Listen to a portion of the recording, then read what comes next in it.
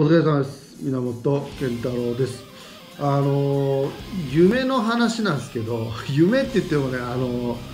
寝てる時に見るやつの方なんですけどちょっとね昨日変な夢見てその僕こうイベントスペースとかで仕事でこうやってるんですけどその仕事場にねこう勝手にバーッと人が入ってきて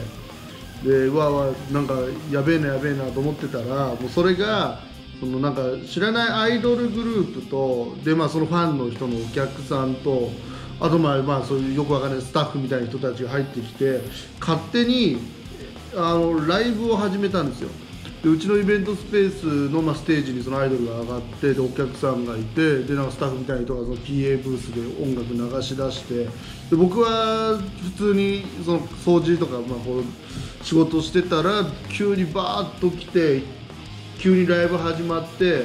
で俺なんかすごい切れて その PA の PA ブースで音流してるやつにこう「やめろ!」って もうそいつ引きずり倒してもう。もうバッタバタその客とかもファンの人とか全員もうその俺を倒そうとしてくんの俺もみんなと戦って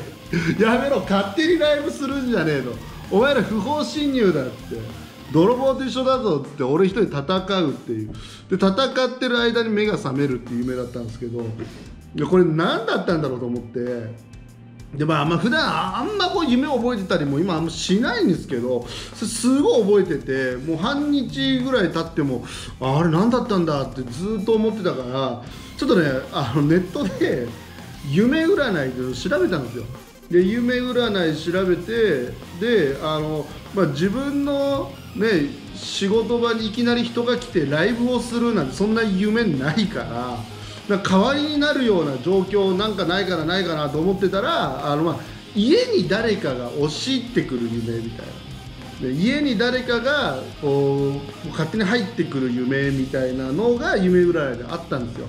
でえーとまあ似て似てるけど違うような気もするんだけど、まあ、まあそれが一番近いかなと思ってちょっと調べたらえー、っとね えっと意味がねえー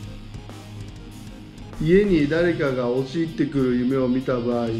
それは自分の内面を人に知られてしまう恐怖があることを意味しています、ね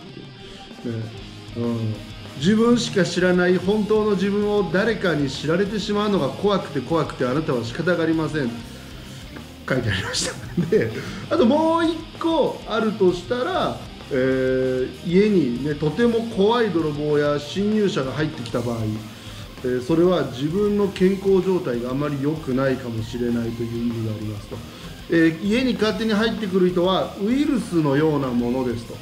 うん、そういったものが自分の体にいるということ。じゃないでしょうかということなんですよ。でそういう方はいずれ体に影響する可能性があるので気をつけてください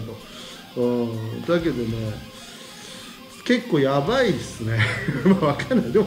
家に人が入ってきただけでそうなんですけど俺は、まあ、家じゃないけど自分のねこう管理してるさ自分の仕事場のイベントスペースにさ知らないやつがいっぱい入ってきて勝手に歌を歌い出すっていう そういう状況なんですよ。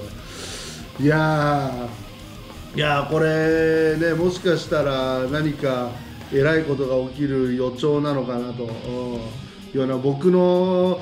体の中に心の中に隠し持ってたあらゆるものがこれから出てくるんじゃないかなって。いや怖い、うん、怖いなと思いました。なんかさおっさんだし男だしさあんまりこういう夢占いみたいなの調べることないんですけど意外と調べたらこうやってでまあ本当かどうか信じるか信じないか自分次第だろうけどまあちょっと面白いなと思いました。全然アイドル今日関係ないですけど